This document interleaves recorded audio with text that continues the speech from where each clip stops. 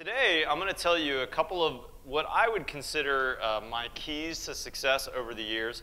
Um, but before I get into the, remodeling building side, I am curious uh, of you out there. I've met a few of you. How many builders in the room would you consider yourselves builders? And how many would say, if someone introduced you, this is a remodeler? What would you say? How many of you would say you're strictly remodelers? Okay. Any, anybody else I'm missing? Any uh, BMC employees here? We got a couple BMC guys here. Awesome. Thanks for coming, y'all. Architect, two? We got an architect? One, how many architects do we have? One, two, three, four, something like that? Awesome. Thanks for coming, y'all.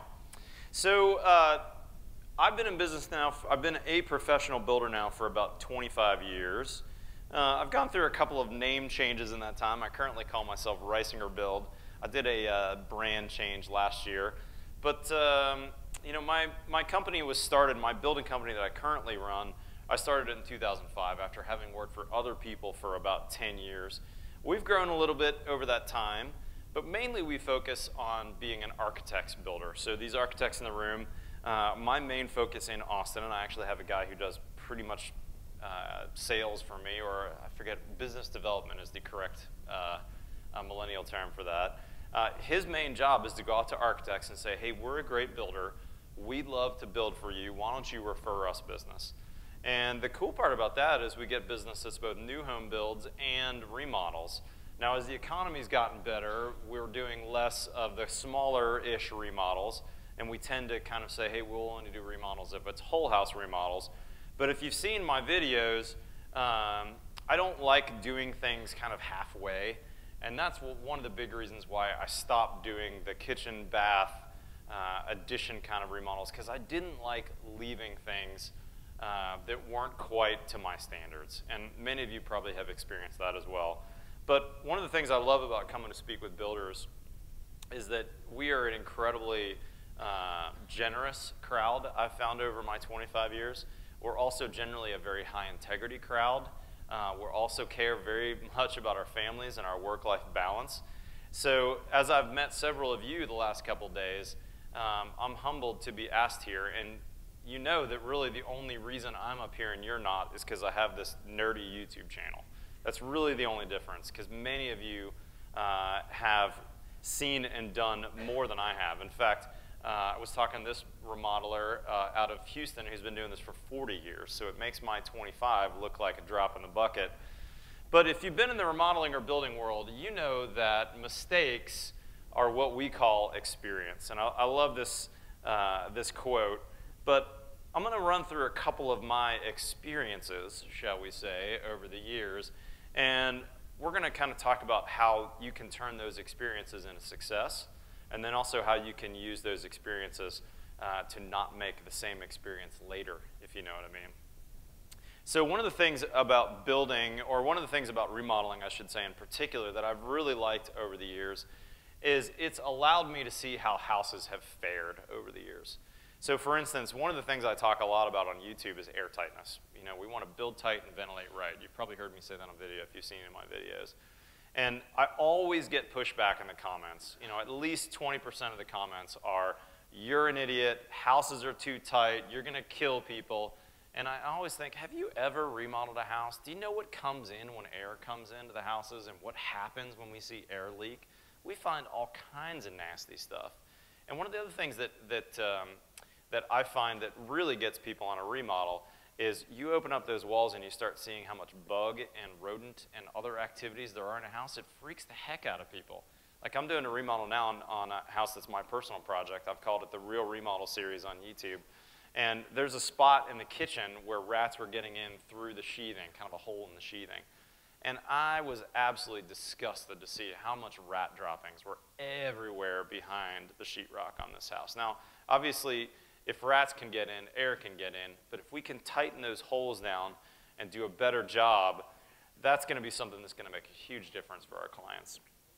The other thing that really gets me uh, about remodeling is that I get to see houses among a bunch of different age spectrums. So for instance, this is one that I remodeled a little more than 10 years ago now. And the house at the time was only a six, seven, eight year old house. In fact, I knew the builder who built this house pretty typical Texas Tuscan style. This is one of my first D-Tuscan remodels where we were kind of turning a Tuscanized uh, you know, we're in Italy in the foothills house into a much more contemporary house.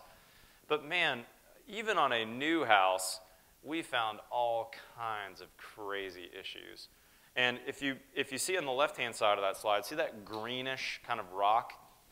After this, seeing this, I don't know, 10, 10 plus years ago now, every time I see green rock on a house, I'm always thinking, I wonder what's behind that green rock. What are we going to find? And man, we find a lot of this, like you see in this, in this particular uh, picture. You can tell the difference between the uh, dark OSB and the uh, kind of uh, dark brown OSB. Obviously know what that is, right? There are some water issues here. But even in another area where there was uh, more of an overhang, sprinklers were hitting the house. They did a terrible job of installing the windows. They had black paper uh, as their weather-resistant barrier, and it was mislapped as if they'd tucked their rain pants into their rain boot. And look how bad that, um, that OSB looked on a six, seven-year-old house. It was getting white mold on a relatively new house, very, very uh, young. So I think as a remodeler, if you are currently a remodeler or if, if you're really doing new homes, it's one of the best ways to learn building science because we end up seeing so many of the failures. And it's one of the things that gets me so uh, kind of hyped up or upset about the national builders. And I try to not talk about this too much on YouTube because I try to generally be positive. But you know, this is a picture of a house under construction. I took this picture maybe a year ago about 15 miles from my house in Austin, Texas. I live 10 miles from downtown, so this is 25 miles out of the city. This is one of the national production builders, if I told you their name. And uh, all those houses out there are being built with thermoply sheathing, with no particular details towards airtightness, with very lax waterproofing details. And you know what? That's the same darn house I built in the 90s when I worked for a production builder. Now that I'm remodeling my 70s house, guess how that 70s house was built? The same exact way couldn't we have learned something as a builder community in the last 40 years? Do you really think our clients would stand for us uh, giving them a new Lexus that was built like a set 1970s Lexus? Man, we've got to do better as an industry. Now, I know you guys here are not in that same boat. This is kind of preaching to the choir, so to speak. But let's, let's look at uh, a couple of examples of some of those old houses that I've worked on. Now, here's the pretty end picture of a house. Um, but here's the before picture. This is a 1930s house that I did in Austin. This is a couple years ago now. This I probably finished this six, seven years ago. Um, but fairly similar front facade. We kind of popped the top on the house. We added some crazy kind of modern dormers. But don't you love how builders put images like this on their website, including me? Here's what builders don't show you. Here's the same house five years later when I got, I got a call from the owners Hey, Matt, all of my paint is peeling on my south facade. What? Ryan, why didn't you call me sooner? Really? And it looked terrible. Hopefully you can see that in the back. We're looking at a, uh, a true wood exterior uh, siding. That's actually the original siding on the house that I pulled, meticulously stripped, uh, primed on all, all five sides, put on a rain screen, and put back on the house you know, five years prior to this. And son of a gun, wouldn't you know it, all that darn paint within, it probably wasn't even five years, probably within three years, was really peeling and looking terrible. And here I am, the building science guy, telling the client, so we're going to do this right. You know, we're going to prime this, we're going to put it on a rain screen, we're going to do this right. I had, to, had, I had to pay to come back and fix it and do it right, and it really bugged me. Those are the kinds of lessons that are hard to pass on to you know, a remodeler who's just starting in the business. These are the, these are the kind of life lessons that you learn uh, and go, gosh, I missed two critical details. Number one, there's no venting on the top of that rain screen. Uh, if you can see that gable right there, the siding goes right up to the gable and there's no air gap up there. It's all caulked in meticulously. So yes, it's on an air gap, but if there's no air flow, you might as well not be on an air gap. The other thing that I messed up big time on this is this is longleaf pine, which is 100 and some years old or so at the time, or maybe not quite, 90 years old, let's say. Well, longleaf pine turns out incredibly oily. And uh, uh, the old carpenters back in the 40s and 50s called it turpentine pine. And so I got my primer wrong on this job. I didn't pay attention. I let the, the painter figure out what primer we needed. I didn't do the research on turpentine pine. Sure enough, we ended up spending, I don't know, 7,500 bucks repainting this house this past year. It was painful. We also came back and retrofitted all those gables with airflow so I could get a full rain screen airflow vent on the top and the bottom. Here's one of my bigger mistakes though. I have not talked about this one on YouTube a whole lot. Um, this is a house that I started construction on in 2007 when I was a relatively new builder to Austin, Texas. If you don't know my story, I, I built for uh, seven years in the East Coast market. I built with a production builder. And then uh, after getting married, my wife and I moved uh, to Portland, Oregon for a couple years, and I worked uh, for a semi-custom builder in Portland. And I learned a lot about uh, uh, rain screens and mold and water intrusion, frankly, because we made a lot of mistakes, and I have talked about some of those on my videos. So then when I moved in Texas in 2005, I started my home building company, and I had zero clue about the market. I didn't know anybody. I didn't really know how I was going to run a home building company, but I knew I wanted to be a custom builder. So I did um, three speculative projects. You all know what I mean when I say a spec house. It means that I took care of the financing. I went to an investor and said, hey, will you loan me this money? I'm going to give you this percent of the uh, profit on the job. And so I did two of them, and I did kind of okay, not great on those, but I, start, I was starting to kind of build a reputation, so that part was good for me. But this house we started in 2007 when the market was at an all-time high. I was on top of the world. I figured, you know, we'd sell this house for 1.3 million in this infill neighborhood. I had about a million into it, so I was going to make, you know, $300,000 on this spec project. Well, y'all know what happened in, in 2007, 8. We went from an all-time high to a massive crash, and here I had this house well under construction at that point um, that was looking cool and contemporary, but in the end, I sold it in 2010 when I was so thankful to sell it for $750,000. So you can do the math yourself on that one. It was a 250K loss. Meanwhile, during the recession, I was running my credit cards to the max. I had one or two, I guess I had two kids at the time. My wife was working like 30 some hours a week to pay our bills because I was making negative money. The, um, the uh, debt service on that spec house was like $6,700 a month. Um, and then when I finally did sell it, I was able to pay off uh, most of my construction loan. Every one of my subs got paid. I'm thankful that, uh, uh that I was able to do that. Uh, I didn't declare bankruptcy, but I had to go to my investor and say, I know, I, I know you loaned me $250,000 and I, you were going to make this percentage of the profit. Well, the profit is minus 250. So I'll pay you every penny of that back um, with no interest, but I won't give you any profit because there isn't any profit. Uh, and by the, oh, by the way, the investor was a family member, so he was like, okay, sure, I'll do that. So it took me from 2010 to 2015 to finally pay that off, and I was paying around that same 6,500 bucks. Uh, around the company, we nicknamed that check that went out every month Chuck, the employee that we couldn't fire that worthless Chuck. Dang it, Chuck. Finally fired at Chuck in, uh, in 2015. And this really doesn't necessarily have anything to do with building, but I can tell you from a personal note, uh, having that massive debt, also massive credit card debt, I'd taken my credit cards, every one of them, to the very brink of what I could possibly borrow. And now I have two kids. Man, it was a brutal time. Now, there was a guy at my church at the time that was doing basically like a Dave Ramsey type ministry. And I'd taken the class, you know, here I was up to beyond my eyeballs in debt. And he recommended this software. I have no affiliation with them. There's no code to use that I make $10 for you to sign up. I just have used it ever since, and it's been really, really good. But my point is, in these good times, we have no idea when these times are going to end.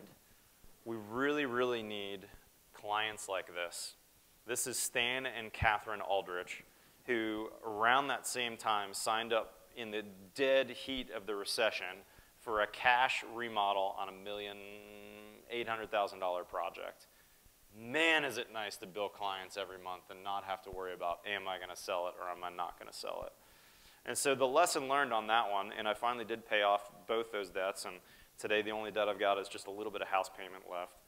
Um, the lesson for us as small businesses uh, and as individuals, let's say if you're a BMC employee, go into a recession debt-free. You do not need a fancy truck. You do not need a boat payment. You do not need a spec house that you may or may not sell. It was a really, really hard and very challenging time in my life. And now, if things change, it's going to be a whole different deal. And that's one of the beauties about remodeling, frankly, is during the recession, I couldn't, I couldn't sell a new home to save my life. Nobody could. But yet I was actually growing in my business because I was doing really good whole house remodels. And there were people like Stan and Catherine and several others that had the cash that weren't 100% stock market invested people and said, hey, my life needs this now. I don't care what the market's doing. I need a remodel. And man, I actually grew my business significantly doing remodeling during the recession. It was actually financially a great time for me. I didn't make a ton of money, but I paid off 300,000 bucks in debt in five years uh, and really changed my business. So here's lesson number one for y'all if you're a note taker. Get debt free. That one's been huge for me. Running my company and my business debt free, uh, both personally and professionally. Man, if I could give any advice to a, to a builder who's younger than me, or a few of you have some grayer hair than me, I'm 47, so I'm older than you think uh, it's this one. You know, be really cautious. And profit, man, profit is important for us as builders. We've got to have profit to lubricate our businesses. We also need to have some of that profit squirreled away for that rainy day fund. Just like anybody who's in budgeting will tell you, you need a couple months' salary squirreled away. We need that for our businesses too. Very, very important. Um, one little quick story about the recession. Uh, I think I'm okay on time here. Yeah. Uh, I had a, a builder friend that I knew kind of leading up to the recession, that uh, uh, he wasn't a nemesis or, or a uh, competitor so much, but he was one of those people that you look at and you go, my gosh, that guy's successful. What is his formula? Like, how can I be him? He was like one or two years younger than me. He always drove a Range Rover. He always dressed impeccably. And, you know, I just had a couple kids. I was 40 pounds overweight. I was trying to look cool. It was before I was finally like, just wear the same thing every day, Matt. Don't be an idiot. I was like trying to look nice at the job.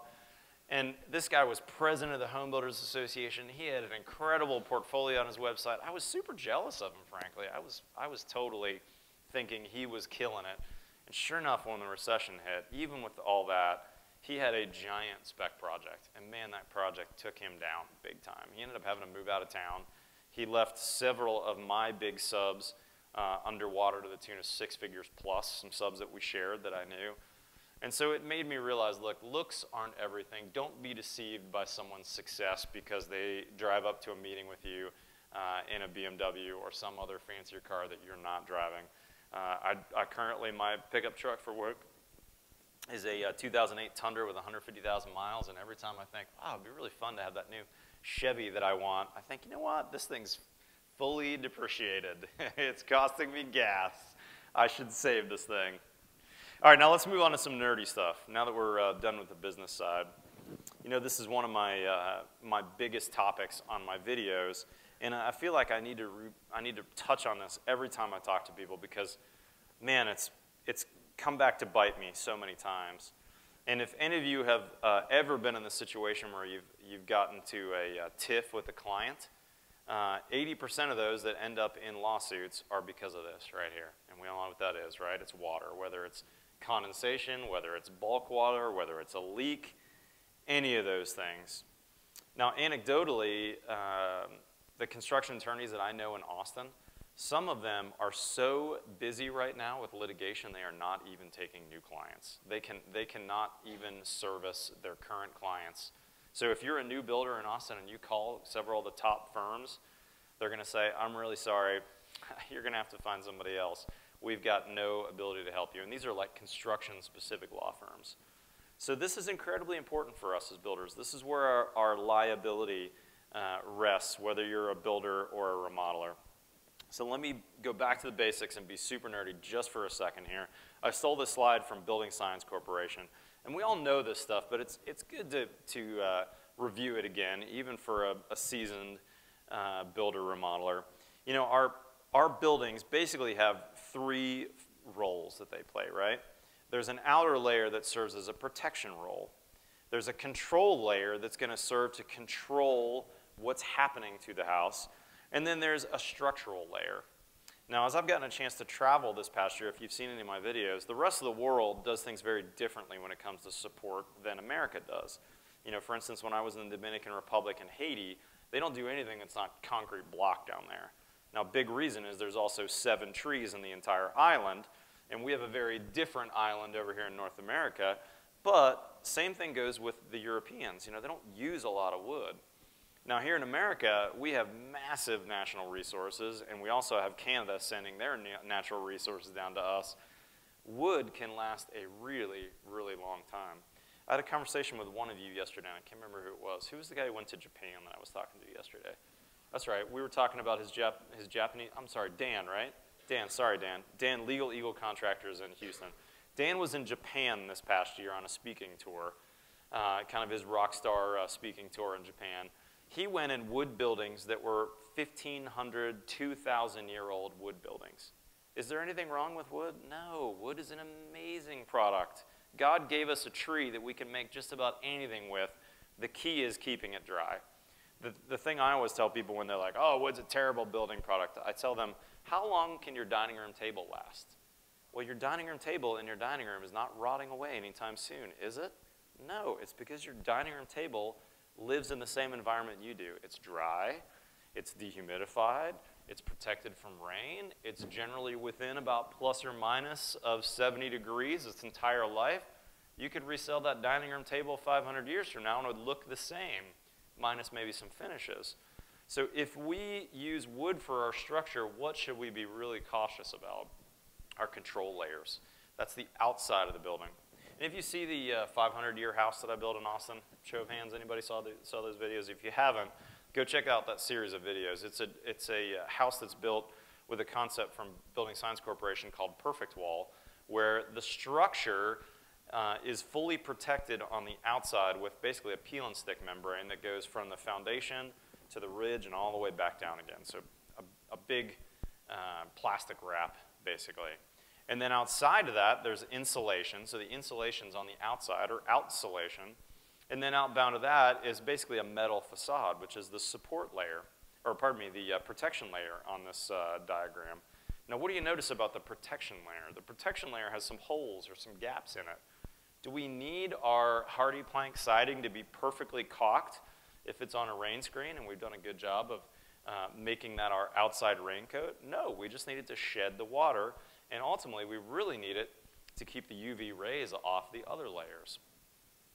Now, what is that support layer, or pardon me, what's that control layer doing for us? It's controlling four things. Now, I'm sorry if, if you've heard this a hundred times, but I love talking about it, right? It's controlling the rain. It's controlling what's happening from the sky. It's controlling air movement. It's controlling vapor, which is a pretty important thing, especially for you uh, northern builders uh, and I've got a really interesting video coming up in about a week that I'm going to publish showing how a hose bib through a wall is transmitting the cold into our houses and may actually be uh, condensing quite a bit into your walls that you don't realize because that hose bib is cold from the outside. You've got metal running from outside to in. And if you don't do a good job of your vapor and air control layers, you may actually be dumping a lot of water into your walls. And then lastly, thermal, our insulation, right? We think about insulation first. Our inspectors care about insulation. They're making sure that our, every area is insulated. But in the scheme of things, it's really this order that matters the most. Insulation is kind of the least important control layer of those three. No one's getting a call in the middle of the night uh, at 2 a.m. that they've got a control layer for insulation missing. Oh my gosh, my floor is cold in my bathroom, Matt. Can you get over here? 6 a.m. and take a look at that? No. But they're sure going to call you if they have a leak out of a window or a roof, aren't they? Rain is what it's all about. Now, here's an example of uh, a builder show gone wrong. This is, uh, you, you may have seen this, I, have used this example before, so I apologize if you've seen this on some of my videos, but uh, this goes back to my Portland, Oregon building days. Uh, this is around the year 2001, 2002, something like that if you went to the International Builder Show around the year 2000, there was a new product on the market that everyone was talking about called EIFS, E-I-F-S. Anyone know what it stands for? We can shout it out. That's right, E-I-F-S. Man, I think you deserve a hat for that. Good job, brother. Um, so EIFS, Exterior Insulated Finishing System. everybody was talking about it at the builder show this year, that year, and there was probably, I don't know, three, four manufacturers that were talking about it. Now, builders loved it because you got this exterior insulation, but their back motive was it was like half the cost of traditional stucco, or maybe less. And basically what you did, now this is a house that we de-skinned because we built about a dozen of them. We were snowed by it too in that year. Uh, and we put it on a bunch of houses in Portland, Oregon, one of the rainiest climates uh, in, in North America. And this is a one, maybe 16 month old house with real plywood, not even OSB. And look how bad it looked underneath the EIFS. Now, if, you don't, if you're not familiar with the EIFS, as a builder, we would basically take a four by eight sheet of EPS foam, like you know your uh, coffee cup foam, like Dunkin' Donuts coffee cup, EPS foam, that white uh, kind of, you have not that kind of coffee cup, sorry, regular coffee cup foam. Uh, and you would, on the back side of that, basically put this mastic on it that you can kind of see the trowel marks on the foam, right? And you would just pop it right on the face of the building. Now, this building did have plywood, not OSB, slightly less water sensitive. But once you stuck that on, then you'd take this bucket of this, uh, of this synthetic stucco, a latex-based stucco, and then you would just trowel it on, and it was integral color. You'd walk away, you were done. Man, they could install a whole EIFS facade on a house in like two days. It was money. One day to stick the foam on, the next day put that up. I guess three days. The third day, the painter came and caulked everything. And man, you had to be meticulous about your caulk. You'd caulk every window, every penetration, everything had to be money caulked. And you know how good production builder, builder painters are. I mean, those guys, I mean, they get, they get paid well, they're happy to be at work, everyone's doing their finest work at 8 a.m. when you're a production builder painter. So our guys may have missed a few things here and there. Also, have you ever seen a caulk joint fail before? I, I mean, caulk lasts like 50 years without failing, right? We never have problems. Well, here's a one-year-old house, and you can see where all the, all the issues were. Basically, those windows right above it there, I'm sure the caulk was not perfect at the corners or maybe cracked. A little bit of water was getting in. We're not talking a fire hose of water, a little bit of water, and sure enough, massive rot on real plywood again, right? And you would think, oh, that plywood will dry to the inside, you know, no problem. Well, no, it was thoroughly rotted. Now, we did have, at that time, poly on the inside of the walls, you know, a pretty zero perm uh, vapor barrier, which we needed a vapor barrier in that climate. It was cold, but man, it was in terrible shape. And that's when I, as a 30, I don't know, 30 year old, let's say, said, man, I've been in this business for almost 10 years now. Well, not quite, seven, eight years, nine years at that time. And we've been building things like we always had with whatever products were there and whatever we were ordering from uh, BMC, but we weren't thinking about how things were put together. We were basically just going with the flow. This is a cheaper, a better product? Great, let's do it. Sounds good. We just saved 5,000 bucks on our stucco costs compared to traditional three coat. But man, was it costly to take care of those houses between the lawyers, restuccoing them with real stucco, doing all the details right, pulling the windows and resetting them, it was expensive. I learned a ton in Portland and really kind of buried my head into building science because at the time that builder I was working for was basically my age now. He was in his mid 40s and he owned this giant company that was getting sued right and left. To his credit, he didn't go out of business. He was able to kind of hang on. Uh, it was helpful the economy was bumping during that time. But I thought, gosh, if I ever own my own company, I'm not going to make those mistakes. I'm going to really do it right. I'm going to really study building science.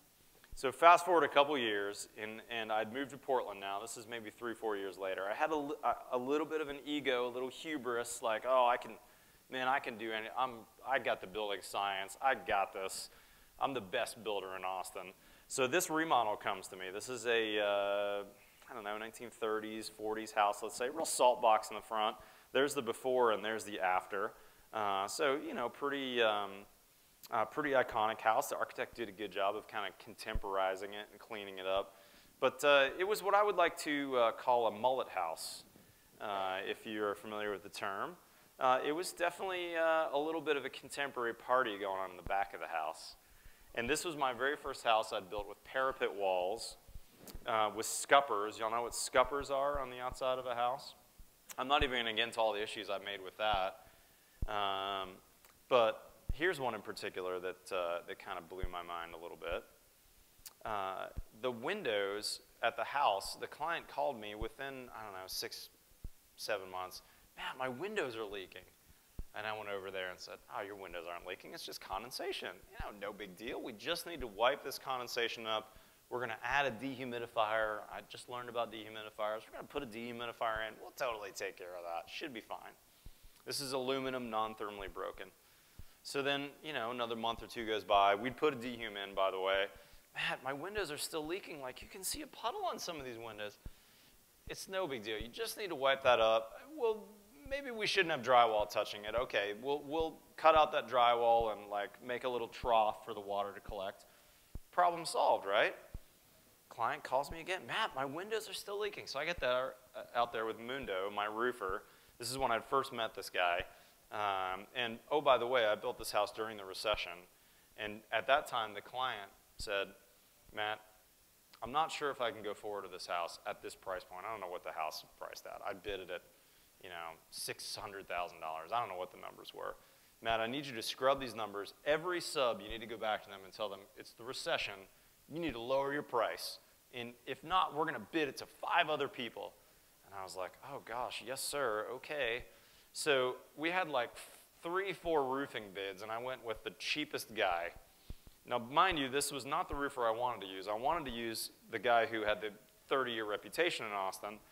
But instead, I used the guy who was actually a builder but also did some roofing on the side. So he was a low bid, of course. So we get out there now, two years later, year and a half, year later. Mundo's looking around. We got a head flashing. I know I put those windows in with, you know, all the good sill pans. Hey, what do you think, Mundo? I don't know, Matt. You just got to, we got to tear this thing out and see what the problem is. So we tear it out. And my guys call me. There's Sam on the right. I've been building with Sam for a long time. Sam just retired recently, but Sam calls me, Matt, you got to get over here, Hefe. This looks bad. Is it the window? What, what was the problem? Did we, did we put it in wrong? Nope, not the window. Can y'all see what it is? Y'all know, right? Scupper. That's right, Matt. The stupid scuppers. I would like to swear here, but my children may watch this. Almost every scupper on the house leaked. I was an idiot. I didn't know any better. I'd never built a scupper before. I'd never done a parapet wall. My roofer, slash a builder who was doing roofing on the weekends, had put these scuppers together, which is basically a big hole through your envelope, you know, all your control layers, and he had caulked them together. The metal was caulked. How long do you think that lasted? Not long. Now here it is like 2008 or 9 at this point. Hey buddy, wait a minute, your phone's not working anymore. Are you still, hey, call me back when you get a chance, please. I got nothing. I paid for every penny of the new roof, of almost, well, we didn't have to tear the whole stucco out, but eight inches or, or a foot around the entire house got torn out of stucco so I could fix every one of the scuppers. I had a ton of rot to fix. It was really, really painful. And remember, this is the time when I had 300000 in debt I was paying off too. Thank God those clients were paying every bill for me uh, of theirs on a cash basis. They had the money. But this is a valuable lesson I learned during this time. And the lesson was don't bid. Now, this is a, this is a deeper topic than just drop that bomb and leave it. But you know, I got seriously pulled in to the client in terms of cost, uh, what's, the, what's the correct uh, term? Uh, we're not cutting costs, we're value engineering, that's it. I did some serious value engineering to make sure the project went, right? I needed the work. But man, what an idiot. I paid for all 30 grand of that out of my pocket. I wish I could have gone to the client and said, well, you made me take the low bidder, so you need to pay the 30 grand. What do you think he would have said? Heck no. You can hear from my attorney, and you're going to owe me a 100 grand, is what he would have said.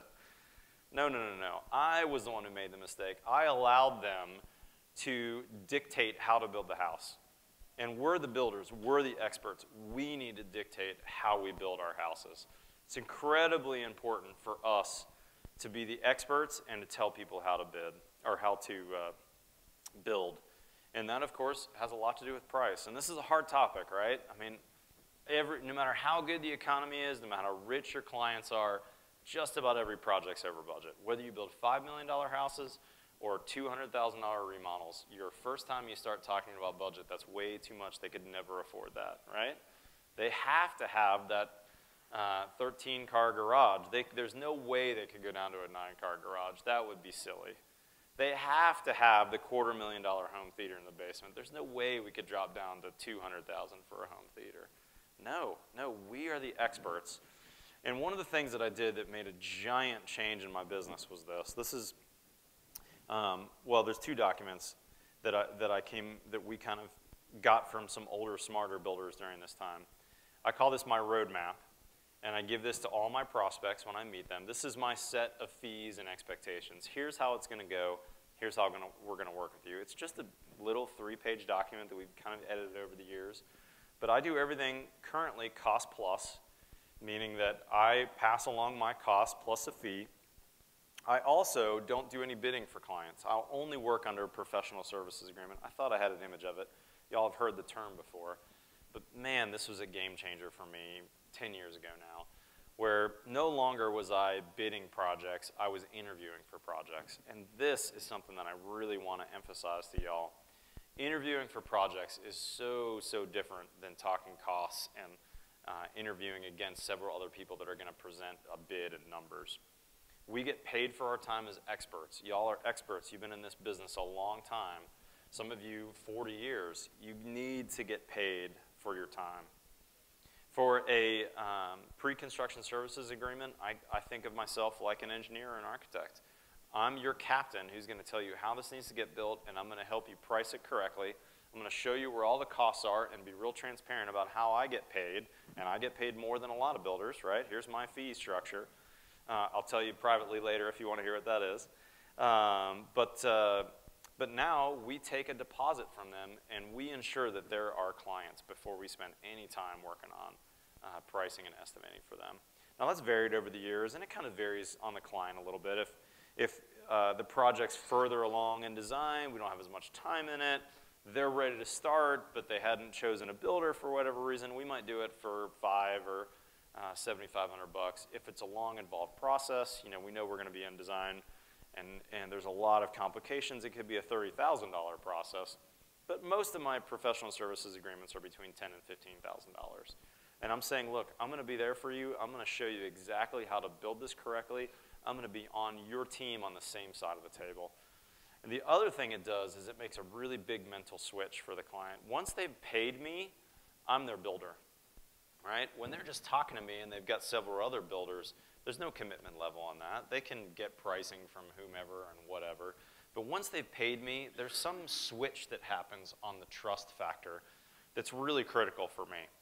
And it's, and it's made a giant difference in my business. Okay, so I think I hit all these bullet points uh, already. Let's talk about what I do with my subcontractors, because I think this is also an important topic uh, especially as we've got a room full of uh, a lot of remodelers. You know, our subs are really the builders. We call ourselves builders. We, we take a bunch of pictures in front of the house and throw it on Instagram.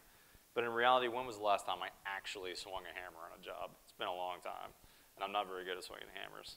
Although I am good with a fluid applied caulking gun. However, those subs are critically important to our success. Now, I do have a few in-house guys or, you know, in-house subs, so to speak. Uh, here's my crew. I couldn't find a good Christmas picture recently. There's Fat Matt from uh, 2015 or so. But these are guys that are critical to the success of your job.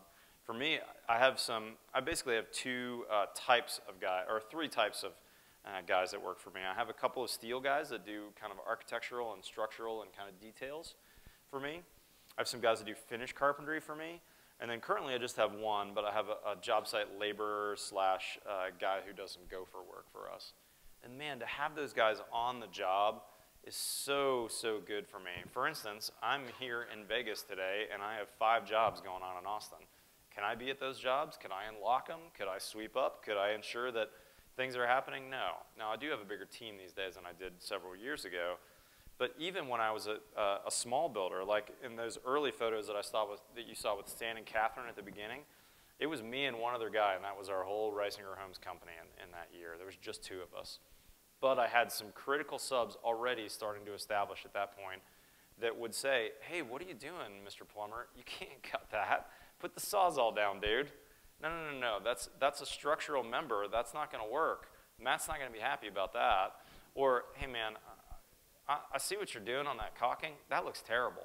Literally, some of my subs will say that to other subs because they know what I expect. And man, that's been a huge part of my success now over the years, is having that team of guys. Now, the Japanese have a term for that. Uh, they, uh, they call it poka-yoke. It's, called, it's a term that means basically mistake proofing, and I'm a little bit of a Japanese nerd. But uh, I, studied the Japanese uh, Toyota production system when I was in college. I thought I was going to build cars for a living uh, instead of build houses. But this is a, this is a guy on our, our crew, uh, a subcontractor framer. Uh, we've nicknamed him uh, Chewy. And this is from 2000, I don't know, 10 or 11 on a job site. At this time, Chewy did not speak very good English. And it's the end of the day. It's like 5 o'clock on a job. My project manager, Ryan, was on vacation that week. So I was visiting all his jobs like morning and evening to check on things. And I get there at the end of the day, and Chewy's the last framer there at 5 o'clock. Everyone else is gone and in kind of broken English, he tells me that we stopped putting the James Hardie siding up on this gable because we got a problem. So I was like, all right, what do you mean? So I grabbed my little camera. Uh, this is before digital cameras even. Grabbed my camera. No, I guess it was digital. It was crappy digital. Anyways, that doesn't matter, sorry. Uh, so we get up to the gable, and Chewy goes, hey, we stopped the siding because this, this vent doesn't have uh, I can see all the way into the house through the vent. It doesn't have the blue thing, the azul, you know, the cover. Oh, oh, oh, right, right. Thanks, Chewy. I appreciate that. You know what he was missing? He was making, missing his QuickFlash. He knew that all of my penetrations on the outside of the house had to have a flashing boot on it, and there was no flashing boots of this size in the flashing boot container on the job, on the job box there. So he timed out on the siding and didn't side over it.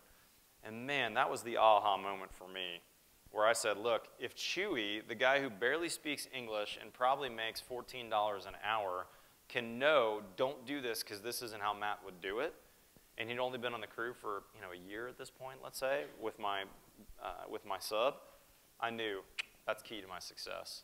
If the $14 an hour guy is looking after me and my interests, that's a guy I want again. And you'll see him on my videos today. His English is fantastic today. Uh, he has a new baby, and he's an amazing carpenter. And he's been working with me for, you know, eight, nine, ten years now as a sub. But I, this sub knows I'm always going to use him. Let me talk about the logistics of that for a minute. Now, I'm a cost plus builder. My costs get passed on to my client.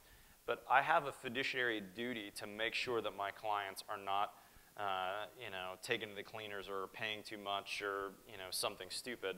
So there's no open checkbook with any sub. I don't, I don't want you to get the wrong impression. What I do with, for instance, my frame carpenter is every year, annually, I review with him what his price is going to be for me. And I know what his per guy per hour price is, as well as his uh, basically man day or crew day price is. And then every project we have that comes in that we're, that we're putting an estimate together for, to put a budget together for, Bill comes in and meets, not with me anymore, but meets with my team and says, okay, this is real similar to this other project, which was a similar scope. How long did it take us to do that project? That took 13 weeks between framing, uh, weatherproofing, and uh, the exterior cornice that we did. This one's really similar, but it's 30% bigger, so I think what we should plug in is 14 weeks plus 30%. So let's plug in 18 weeks of crew time. And the thing about that sub in particular, and many of my subs, is that if I happen to pop in on the job, they're not on Facebook. They're not taking a smoke break. They are getting after it. And that's my contract to them. It's, this is not a written contract. This is my, we talk about it though. Look, you guys do good work for me.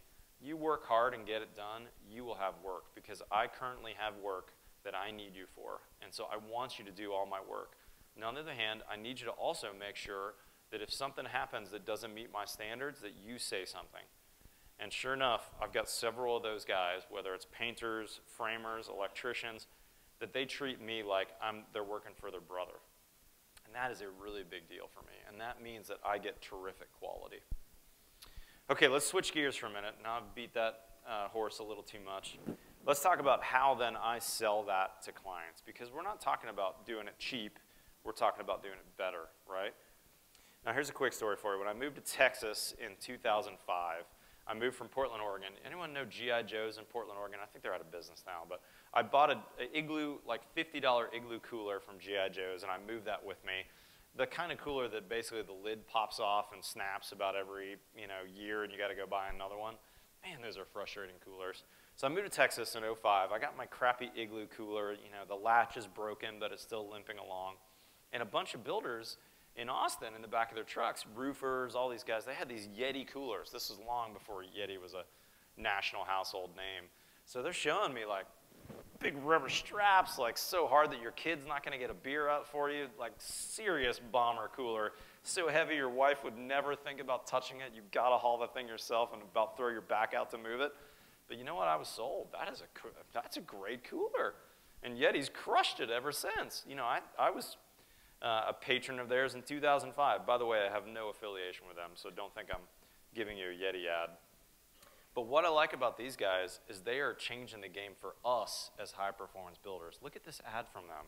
The cooler is about this big in the ad. It's about the lifestyle. They've got a funny joke about the ex wife in there. And then if you look at any of their other ads, they go into great depth about how much better built their coolers are.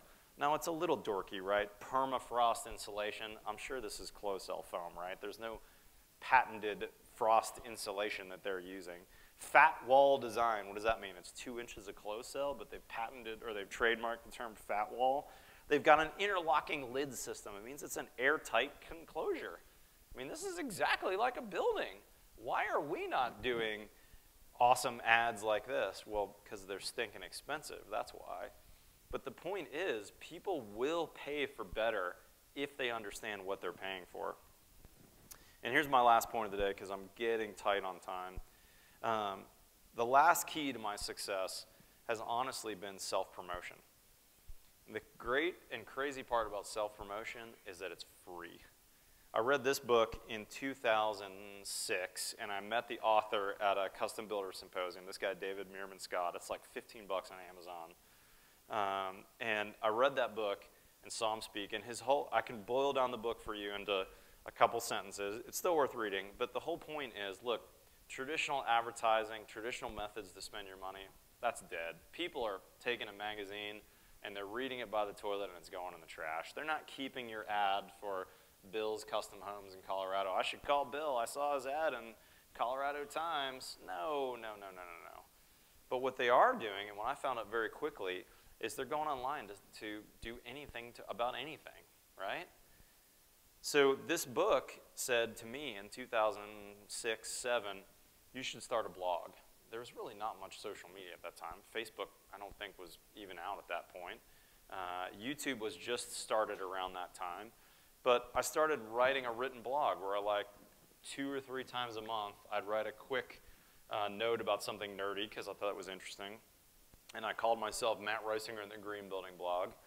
And then maybe six months into this, what am I doing? I'm just, you know, I'm throwing trash into the into the internet. Who knows what's happening? And I went to a meeting like six months after starting doing it, and I was, it was with an architect and a prospect who was interviewing me for a remodel.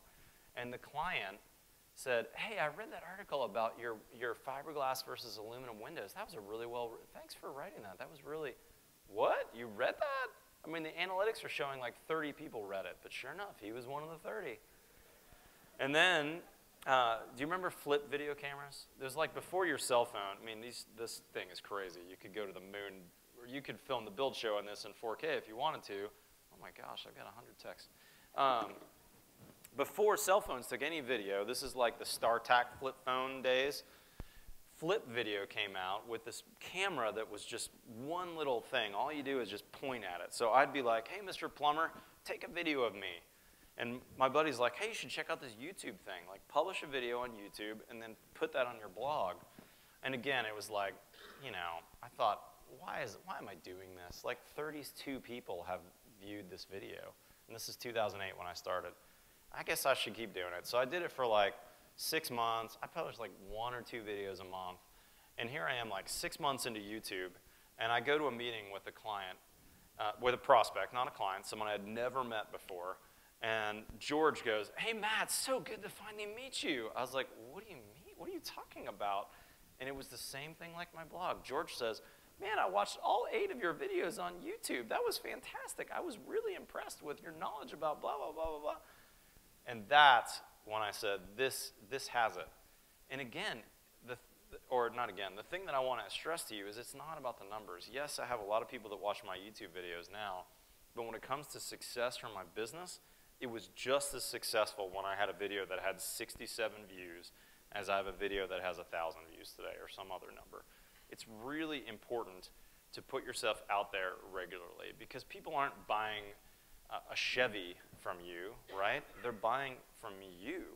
I don't know how big your companies are. I don't think there's any, uh, you know, thousand employee builders or modelers in this room. It's about you. It's about your processes. People want to do business with people they like. The reason why I've liked working with my framer over the years is because he's a great guy and I enjoy spending time with him and he's enjoyable to work with. If he was a great craftsman but he was a jerk, he would have been fired long ago. The same goes with our clients who hire us. They like us, they want to trust us, they're going to work with people they like. So, by you putting yourself out there and actually spending a little time on this, it's money and time well spent. And the other thing is, it's basically free. What does Instagram cost? It costs nothing for you. You don't need to do promotions, you don't need to spend money on ads. Just commit to some schedule, whether that's one or two pictures a week or one or two videos a week, and do it. You got to do it. It's really important for your businesses. And for me, the thing that, that only took a few years in my local market, I moved to Texas uh, in 05. I had never built a single house in Texas. I moved from out of state. I'd moved from Portland. I was originally a Yankee, and Texans don't like that, so don't tell anybody. And within a couple of years, people knew who I was in Austin because I had these dumb YouTube videos.